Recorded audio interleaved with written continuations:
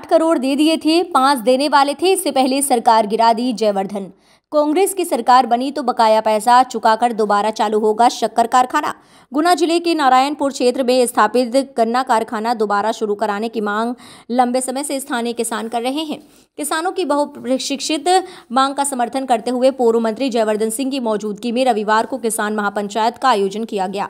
मौके पर मौजूद हज़ारों किसानों से संवाद करते हुए पूर्व मंत्री जयवर्धन सिंह ने शक्कर कारखाने को दोबारा शुरू करने की मंशा जताई है और आश्वासन दिया है कि कमलनाथ सरकार में जो कारखाने की बहाली के लिए प्रयास शुरू किए गए थे, उसे हरगिज ठंडा नहीं पड़ने दिया जाएगा।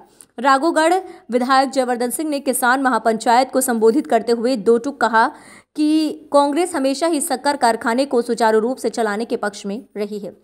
गन्ना फ़सल खराब नहीं होती। साल 2003 में पूर्व मुख्यमंत्री दिग्विजय सिंह ने इस मंशा के साथ कारखाने की स्थापना की थी कि गन्ने की फ़सल मौसमी प्रकोप को बर्दाश्त कर लेती है।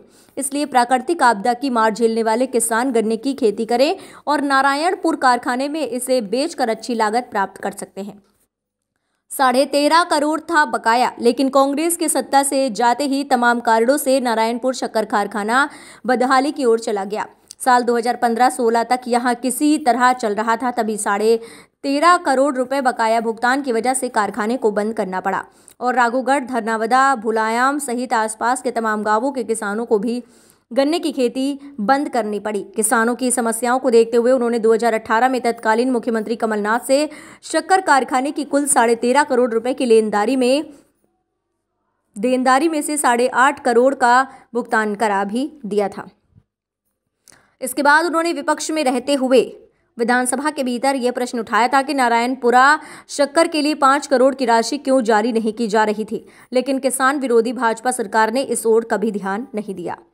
महापंचायत में इकट्ठे हुए कई गाँव। नारायणपुरा में आयोजित इस महापंचायत में राघोगढ़ और चांचोड़ा कुंभराज तहसीलों से बड़ी संख्या में किसान एकत्रित हुए। जयवर्धन सिंह ने किसानों को भरोसा दिलाया कि कांग्रेस उनके प्रति संवेदनशील है और सरकार में आने पर तुरंत नारायणपुरा शक्कर कारखाने को बहाल करने व देनदारियों को समाप्त करने का काम किया जाएगा।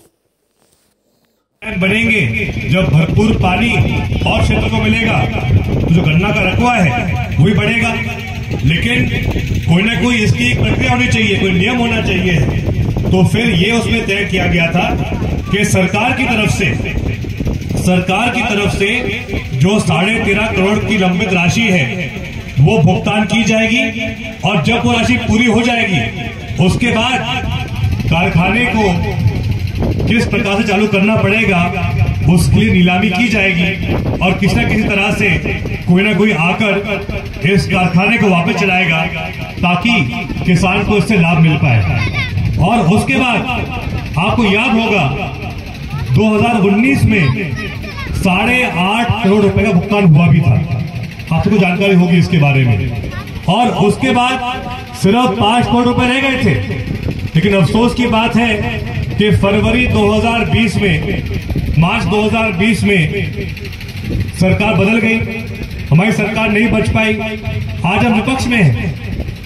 और मैंने इसके संबंध में विधानसभा में प्रश्न भी पूछा है कि जब शर्त थी सरकार की कि तेरह करोड़ रुपए मिल, भुगतान होने के बाद फैक्ट्री चालू करने की नीलामी की जाएगी, फैक्ट्री पुनः चालू होगी तो जो शेष पाँच करोड़ रुपए रह गए हैं, आठ करोड़ रुपए कांग्रेस सरकार ने भुगतान कर दिए थे, लेकिन जो शेष पाँच करोड़ रुपए रह गए हैं, वो ये सरकार भुगतान क्यों नहीं कर रही है? और अगर आप चाहे तो जो आज के आयोजक है, मैं आप सबसे प्रार्थना करता हूँ, पार्टी कोई भी हो सोच कुछ भी हो।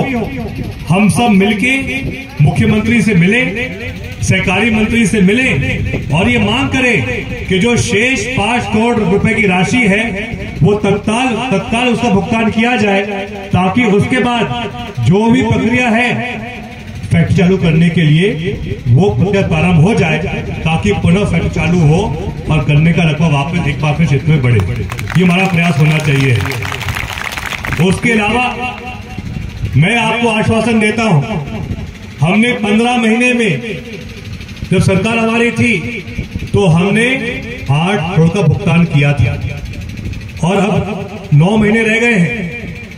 ये लोग भुगतान करें तो करें और आगे प्रक्रिया करें। और अगर नहीं करेंगे तो मेरी ज़िम्मेदारी रहेगी कि 2024 में अगर सरकार हमारी बनती है प्रदेश में तो जो शेष पाँच करोड़ रुपए है, उसका भुगतान भी किया जाएगा और पुनः निगरानी करके फैक्ट्री